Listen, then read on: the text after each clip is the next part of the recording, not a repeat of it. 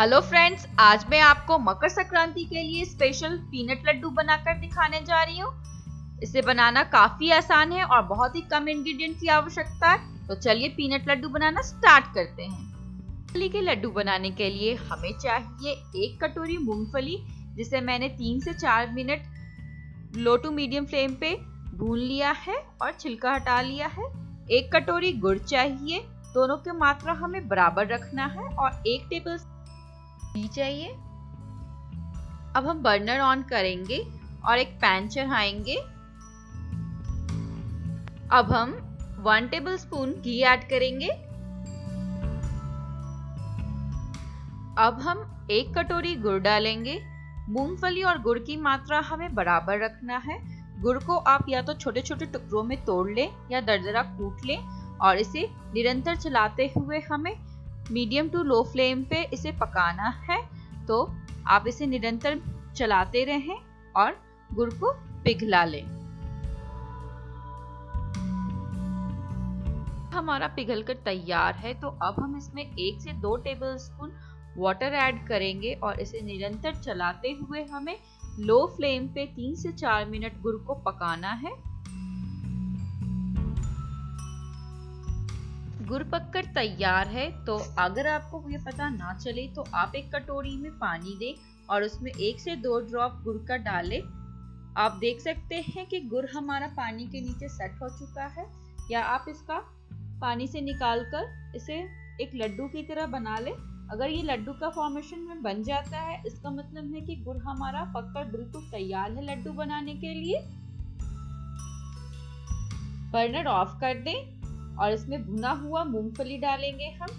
और इस प्रोसेस को हमें बहुत ही जल्दी करना है, क्योंकि ठंड का दिन है और गुड़ बहुत ही जल्दी जमता है तो आप इसे बहुत ही जल्दी फास्ट मिक्स कर लें अच्छी तरह से।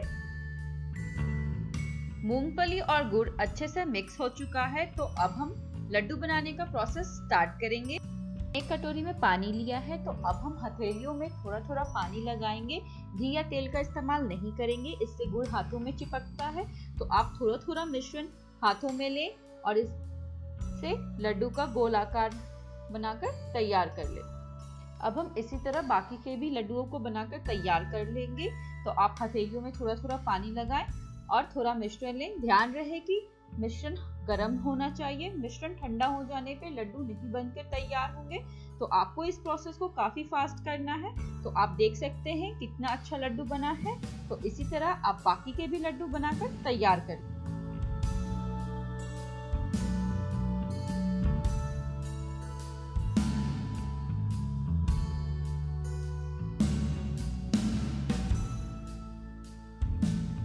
अब आप देख सकते हैं ये लास्ट का भी लड्डू बनकर तैयार है। सारे लड्डू बनकर तैयार हो चुके हैं। आप इसे 15 से 20 मिनट सेट होने के लिए रख दें।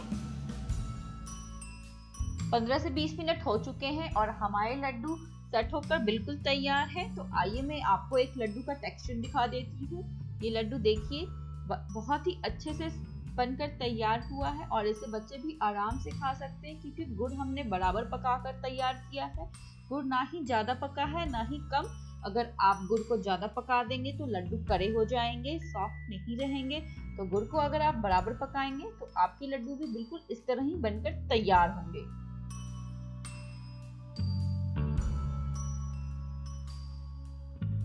अगर आपको पीनट लड्डू की रेसिपी पसंद आई हो तो आप वीडियो के नीचे लाइक का बटन ज़रूर क्लिक करें। चैनल को सब्सक्राइब करना ना भूलें और इस वीडियो को फैमिली एंड फ्रेंड्स के साथ ज़रूर शेयर करें। So thank you and bye bye